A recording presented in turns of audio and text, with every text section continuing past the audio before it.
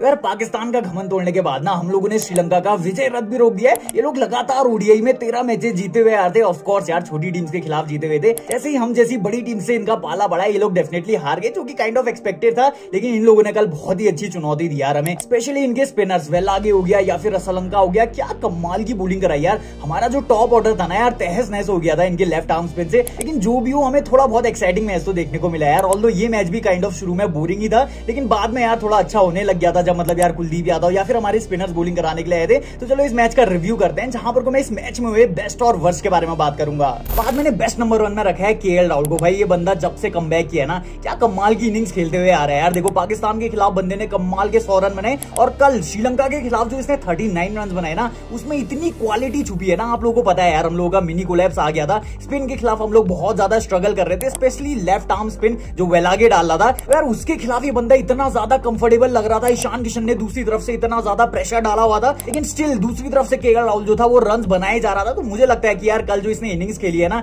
इसकी वजह से मैं कहना चाहूँगा कि इसकी जो नंबर पाँच की स्पॉट है, उसे कभी भी क्वेश्चन नहीं करना चाहिए। ओडीआई में प्लेयर बहुत ही ज़्यादा कमाल की बैटिंग करते हुए आ रहे हैं। अब इसके दूसरे पहलू के बारे में बात करते हैं, जो कि है इसकी विकेट कीपिंग देखो के राहुल को लेकर ना हमारा सबसे बड़ा कंसर्न क्या था कि ये बंदा विकेट कीपिंग कर पाएगा, नहीं कर पाएगा? देखो फास्ट बोलर्स के खिलाफ यार विकेट कीपिंग करना कोई इंप्रेस होने वाली बात नहीं है। मुझे लगता है अगर तुम ठीक ठाक विकेट कीपर भी हो ना तो फास्ट बोलर्स के खिलाफ तो विकेट कीपिंग हो ही जाती है। बंदे ने कमाल का कैच भी पकड़ा था एक फास्ट बॉलर की बॉल में। लेकिन स्पिन के खिलाफ कल जो मैंने इसकी विकेट कीपिंग देखी है ना, मैं उससे बहुत ज़्यादा इंप्रेस हुआ हूँ। और मुझे लगता है अगर ये बंदा यार फिट है, मुझे लगता है कि विकेट कीपिंग वाले डिपार्टमेंट में हमें कोई भी ज़्यादा दिक्कत नहीं होने वाली है। लेकिन सही बता रहा हूँ, जो इसने दो मैच खेले हैं ना कम के बाद से, इसमें हमें इसका बहुत ज़्यादा कमाल का रूप देखने को मिला है। सबसे पहले यार हमने इसकी फिटनेस देख ली, विराट कोहली के साथ दौड़ा, क्या कमाल की फिटनेस देखी थी। दूसरा कम वाले मैच में इसने यार हंड्रेड मारे गई थी, उससे पता चलता है कि ये बंदा मेंटली भी फिट है। तो मैं कहना चाहूँगा के एल राहुल बेस्ट वाले सेक्शन में होना डिजर्व करता है भाई। आज मैंने फ़र्स्ट नंबर वन में रखा है अक्षर पटेल के यूजेस को। देखो यार, मैं बहुत टाइम से कहते हुए आ रहा हूँ कि कोई भी टीम हो भाई, अक्षर पटेल का यूज़ अच्छे से कर ही नहीं पा रही है। फिर चाहे वो डेली कैपिटल सी क्यों ना हो, या फिर हम लोगों ने टेस्ट में भी देखा होगा। और कल भी मुझे लगा कि यार, अक्षर पटेल का यूजेस हम लोग बेहतर तरीके से नहीं कर पाए। कल जो वो बंदा लास्ट में आके इनिंग्स खेल के गया, कितनी इंपॉर्टेंट इनिंग्स थी भाई वो। वो बंदा कंफर्टेबली स्ट्राइक भी रोटेट कर रहा था स्पिन के खिलाफ हिटिंग कर दी थी, वो भी वो बहुत कमाल की करके गया। तो भाई, आपको नहीं लगता उसका यूजेस बहुत अच्छा होना चाहिए? मुझे लगता है यार, कल जडेजा से पहले अक्षर पटेल को आना चाहिए था।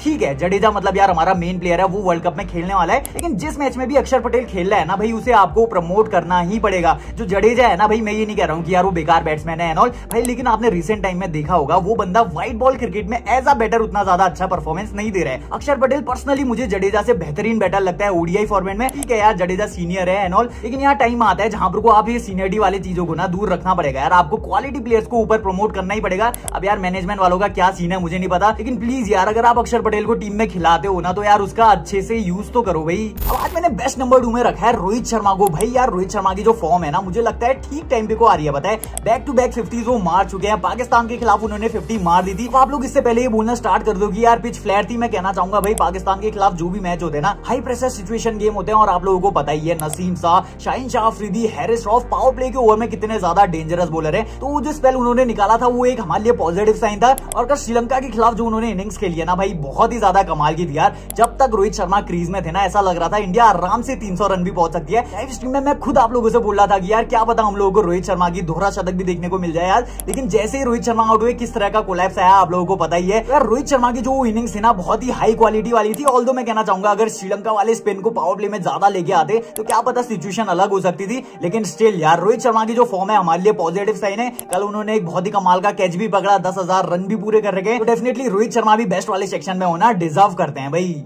मैंने बेस्ट और वर्स्ट वाले सेक्शन में रखा है, ईशान किशन को। भाई देखो, ईशान किशन को लेके इस टाइम को सबसे बड़ा क्वेश्चन क्या है, बताए? कि क्या इस बल्लेबाज को मिडिल ऑर्डर में बैटिंग करनी चाहिए? अभी तो ठीक है मतलब यार श्रेयस अय्यर फिट नहीं है और इस बंदे ने लगातार यार तीन हाफ़ सेंचुरीज भी मार दी, तीन नहीं, चार मारी थी शायद। तो अभी जो खेल रहा है, अभी तो मतलब यार ठीक ठाक है। लेकिन एक बार अगर श्रेयस अय्यर फिट हो जाता है तो क्या ये बंदा मिडिल ऑर्डर में खेलना चाहिए? अब आप लोग बोलोगे लेफ़्ट हैंडर है भाई, मुझे लगता है कि लेफ़्ट हैंडर होने का कोई ज़्यादा फ़ायदा हो नहीं रहा है। कल का जो मैच था ना, इसके लिए बहुत ही ज़्यादा इंपॉर्टेंट मैच था। ठीक है, पाकिस्तान के खिलाफ इस बंदे ने बहुत कमाल की इनिंग्स खेली थी। पेस के खिलाफ मुझे लगता है कि ये बंदा फिर भी ठीक है। लेकिन स्पिन के खिलाफ इस बंदे की रियल परीक्षा थी। और कल जो इसने इनिंग्स खेली है ना भाई 61 बॉल्स में, जो 33 रन बना गए जहाँ पर कोई इसने बहुत ज़्यादा डॉट बॉल्स खेली, जहाँ पर कोई इसने मतलब यार स्ट्राइक भी रोटेट नहीं किया। बहुत ज़्यादा प्रेशर मुझे लगता है कि यार केएल राहुल के ऊपर इसने ला दिया था, जिसकी वजह से मे बी यार के राहुल आउट भी हुआ था। लेकिन जो भी सीनो मुझे ऐसा लगा कि यार ये बंदा स्पिन के खिलाफ कंफर्टेबल बिल्कुल भी नहीं लग रहा था। अब आप लोग क्या बोलने वाले हो? मुझे पता है। आप लोग बोलोगे, यार, हमारा कोलैप्स आया था। तो ईशान किशन ने जो ये इनिंग्स खेली थी, बहुत कमाल की इनिंग्स थी। लेकिन आप लोग एक सिचुएशन इमेजिन करो। अगर यहाँ पर कोई श्रेयस अय्यर होता, वो क्या करता भाई? वो तो मतलब यार आपको पता है स्पिन का अच्छा बल्लेबाज है। ठीक है, वो भी आराम से खेलता है, लेकिन क्या वो इतनी ज़्यादा डॉट बॉल्स खेलता है? दूसरे प्लेयर पे क्या वो इतना ज़्यादा प्रेशर लेके आता तो इसी वजह से मुझे लगता है कि यार ईशान किशन ना मिडिल ऑर्डर में उतना अच्छा ऑप्शन नहीं होगा।